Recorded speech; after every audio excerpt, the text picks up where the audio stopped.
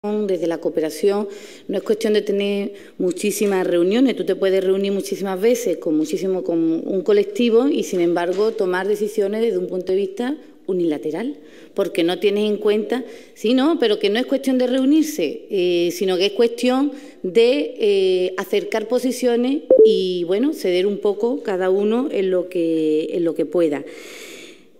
Y no es cierto que sea una decisión compartida, no es cierto. Yo tengo acceso al acta esa de esa reunión.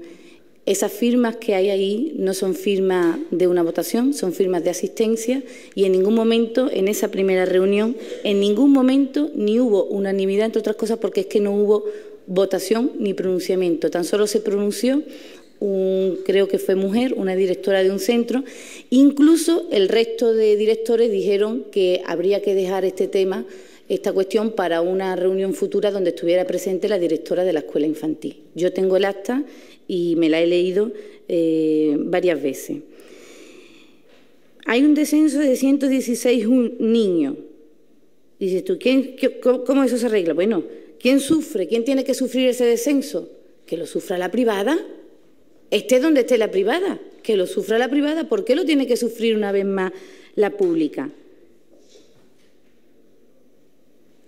El problema de este centro no es que le quiten una unidad o le quiten dos, es que le quitan las tres para que el centro se cierre. No estamos hablando de la eliminación de una o dos unidades, sino del cierre de un centro, que es todavía muchísimo más grave y antes explicado anteriormente pues las consecuencias negativas que tiene a corto, a medio y a largo plazo.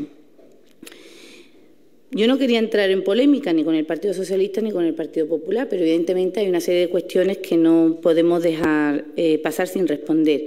Dice el Partido Popular hipocresía, doble juego, hipocresía y doble juego la del Partido Popular, la de un equipo de gobierno que no cumple con sus competencias de mantener en condiciones que tiene que mantener la escuela infantil desde hace muchísimos años o de un Partido Popular que aprueba una reforma educativa en la que se consagra por ley orgánica la subsidiariedad de la escuela pública frente a la escuela privada. Ustedes, el Partido Popular, van a venir aquí a esta comisión a darnos a nosotros lecciones o a explicarnos de cómo se tiene que defender la escuela pública. Porque yo le pregunto a ustedes, ¿hasta dónde llega, hasta dónde están ustedes dispuestos a llegar en defensa de la escuela pública? ¿Están dispuestos a llegar al cierre de una escuela privada para mantener una escuela pública? Porque la reforma educativa que acaban ustedes de aprobar dice todo lo contrario.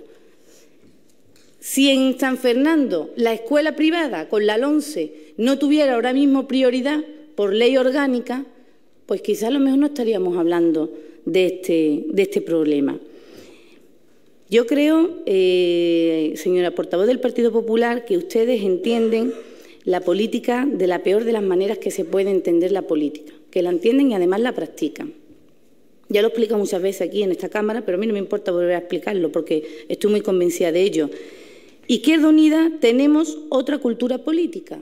Entendemos que hay otra forma posible de gobernar de gobernar y de estar también en el poder legislativo.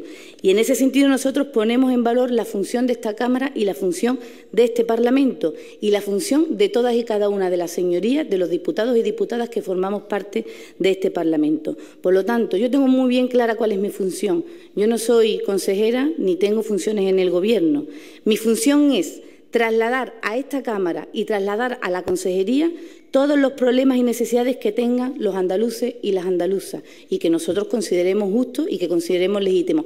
Y fíjese lo que le digo, esté quien esté en la consejería, esté Izquierda Unida, esté Partido Socialista o esté Partido Popular. Yo creo que más claro ya no lo puedo explicar.